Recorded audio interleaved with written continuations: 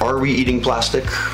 Yeah, there's been quite a few more studies on that recently that have been done. Um, uh, one that we like to refer to a lot uh, talked about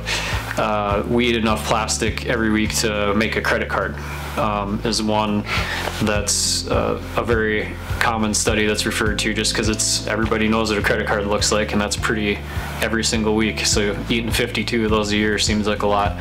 um, there's also been studies on um, stools of humans or human feces that's found that